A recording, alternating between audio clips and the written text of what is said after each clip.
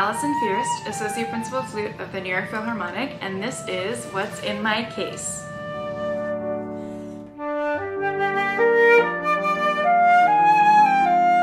Today I'm going to take you through what's in my case, my instrument setup, and some of the gear that I use as a flutist in the orchestra.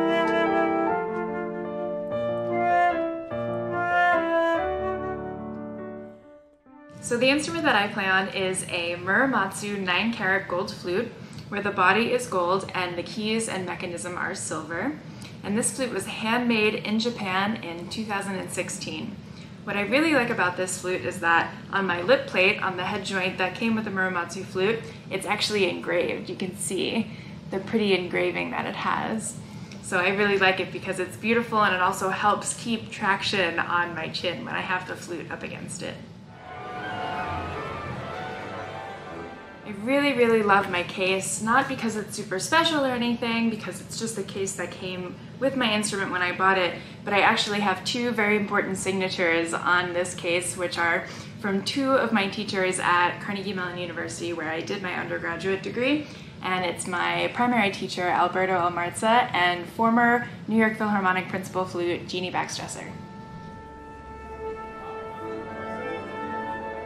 Some other accessories that I can't live without in my case are pencils, a tiny screwdriver just in case I need to adjust anything, some earplugs because hearing health is very important, and my favorite things are the exterior polishing cloth and interior cleaning cloth that I have. Both are from Beaumont Music and I really like them because they come in really fun patterns.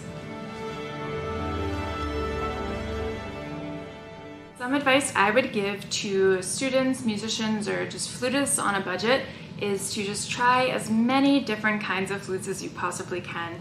For whatever price range you have, you can really, really find a great instrument because I know many, many players who play, you know, intermediate or lower cost professional flutes that sound really, really incredible.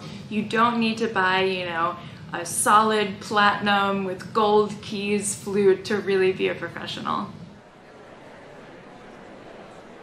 My first practice tip is to be very, very organized. Practicing is so much easier when you have a very well-defined plan in front of you with different goals that you can be working towards.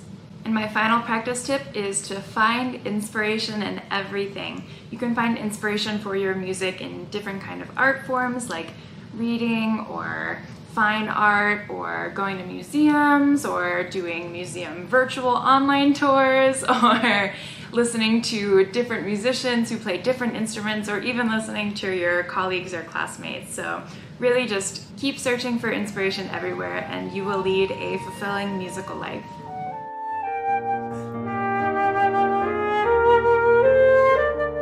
I'm Alison Fierst of the New York Philharmonic and this was What's in My Case. Thanks for joining me.